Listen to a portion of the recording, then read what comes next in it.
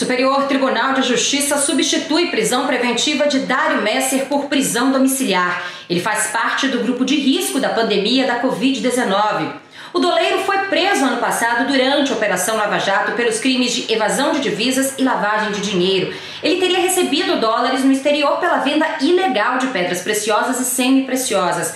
A defesa de Dário Messer fez o pedido de conversão da prisão preventiva em domiciliar, alegando que ele tem 61 anos, é hipertenso, fumante e foi submetido a uma cirurgia para retirada de melanomas, o que o inclui no grupo de risco da pandemia. A defesa ainda argumentou que o réu esteve internado em março em um hospital que registrou casos da doença. O ministro do STJ, Reinaldo Soares da Fonseca, considerou que os crimes atribuídos ao doleiro não envolveram violência ou grave ameaça e acolheu o pedido seguindo uma recomendação do Conselho Nacional de Justiça pela reavaliação das prisões provisórias, especialmente nos casos de pacientes do grupo de risco.